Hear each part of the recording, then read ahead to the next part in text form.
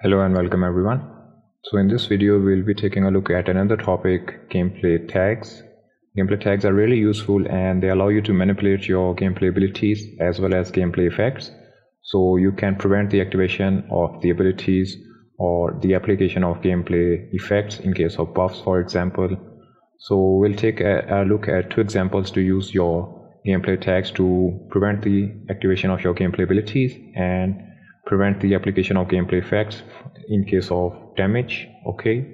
So just to start what I want to show you we have a slight problem with our current setup right now. So if I press my E key we have this cosmic rift ability.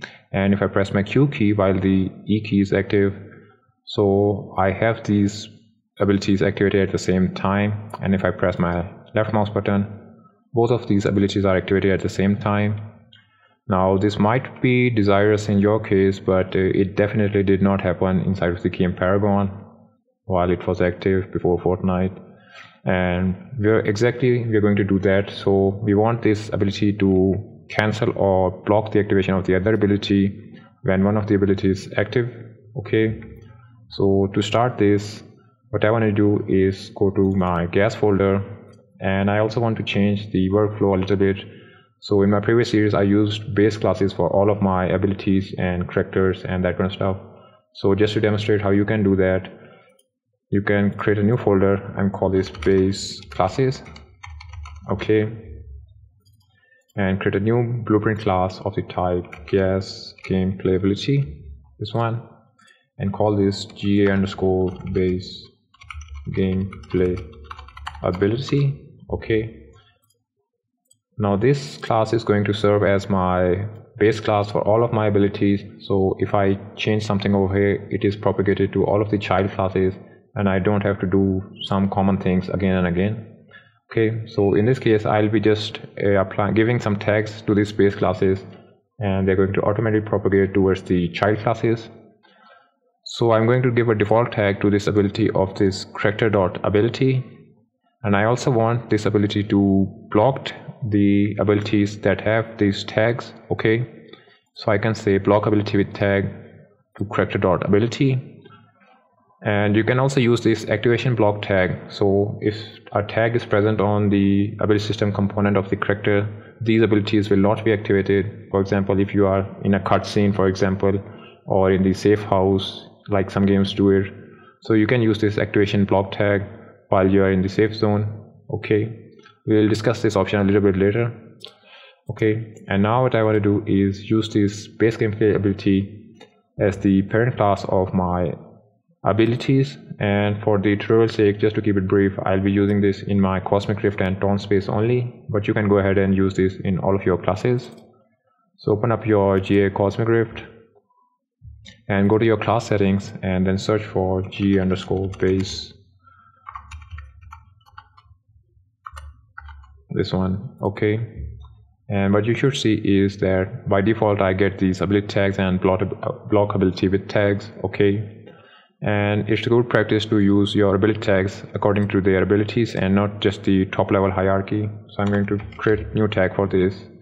Character dot ability dot cosmic rift. Okay. Compile and save this and similarly I'm going to do this one for my taunt space. So open up your GA taunt space go to your class settings and then search for GA underscore base gameplay ability go to your class defaults and change the tag to a new tag character dot ability dot um, taunt space. Okay. So once this is done uh, I think this is it. So let's just test it out first. So if I press my E key I have my Cosmic Rift active. And if I press my Q key I cannot activate my taunt space. So I activate this ability. And now if I press my Q key I can activate my taunt space. And if I try to press the E key the Cosmic Rift ability is not activated until I confirm or cancel my ability okay. So this is a way to like for example prevent one activation activation of one ability while the other is active. Now we'll take a look at another example that I was talking about. So if we can go to our gas folder I want to create a new folder env for environment and create a new blueprint class of the type actor and call this BP safe zone. Okay so let's open this and add a plane. Okay and I'm going to resize this by 5 by 5 and I also want to add a box collision and it's going to be like 250 by 250 by 50 let's say. And I'm going to drag this a little bit up like so. Okay and now I want to add a few overlap events for this so it's going to be overlapping only pawns and I want to create for one for begin overlap and one for end overlap okay? So what I want to do is that once the character has entered the safe zone we apply some kind of gameplay tag to his ability system component and prevent the activation of the ability okay? So we are going to add an interface function that is called from this and applies those tags to our character. So going back to our gas folder inside of my interfaces open this pp ability interface. Okay let's close these and create a new function. And call this add loose tag to ASC for ability system component. So I'm going to add an input for this. It's going to be tag to add. And this is going to be a type uh, gameplay tag this one. And now I'm going to duplicate this and name this to remove loose tag from our system component and change the name to tag to remove compile and save this and opening our character class I'm going to implement these two interface functions. So the first one is going to be add loose tag and we also have this move loose tag and I'm going to drag them um, over here where our other interface events have been implemented. So drag them over here and just search for add loose gameplay tag. This one was implemented inside of C++ and similarly we're going to search for remove loose gameplay tag and just hook it up like this okay I'm going to comment this as add remove loose gameplay tags. Okay. Now I also want to point out that this addition and removal of gameplay tag is from the ability system component and not this character itself. So just bear this in mind while you are working on this. Okay. So going back to our BP safe zone what I want to do is just search for does implement interface and it's going to be bpi underscore ability interface. Uh, this one okay. And I'm going to branch out from here and send a message to add loose tag to ability system component. And similarly I'm going to copy this and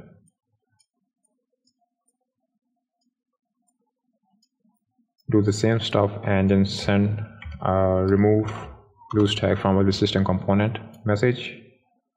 Okay so I'm going to define a new tag for this and this is going to be character dot ability because I want to show you something. Okay compile and save this. And now if we go to our level and add this safe zone like somewhere over here. Okay so now what should happen is that like nothing should happen. Our ability should work like that. Okay so this is not going to block the activation or uh, of our abilities. I can press my E key to activate this and my Q key to activate this. But watch what happens then. I change my parent class to also apply this tag on my activation block tag. So if I apply this on my activation block tag what would happen is that I won't be able to activate my Q and E abilities. Now we haven't set this up for projectile and other abilities but it will work the same way. So if I move into the safe zone and press my Q key or the E key I cannot activate my abilities okay?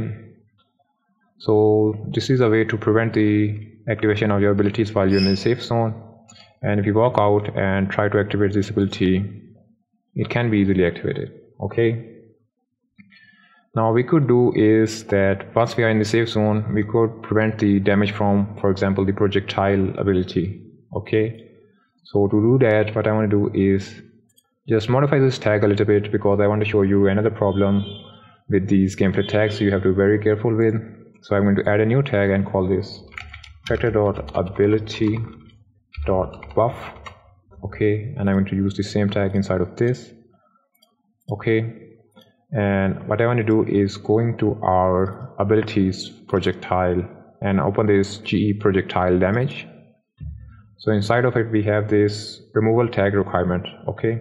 And if you read the tooltip this prevents the application as well besides removing the, the gameplay effect on the tag present and ignore okay? So I'm going to add the tag of character.ability.buff okay? Compile and save this so if this tag is present this effect should not be applied to the character. Okay so let's go ahead and test it out. If I start my game I am going to damage character with my projectile okay? His health has decreased and if I move to the safe zone and now if I try to apply this I cannot damage him okay? And once he is out of the safe zone I can once again activate my projectile and damage him okay now this has another side effect as well. This might be desirous in some cases it might not be desirous in some cases. So if I move inside of the safe zone and if I try to activate my Q or E abilities I cannot activate them okay?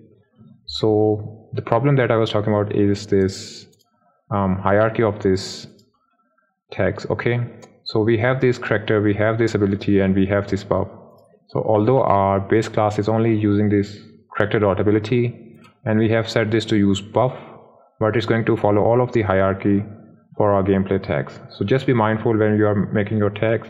So instead of ability this buff should have been in some other buff and debuff category and not inside of this ability. Okay or you could use this define this some other tag for this activation and deactivation of your abilities. Okay so just be mindful of this. So I think this wraps up this video for our gameplay tags.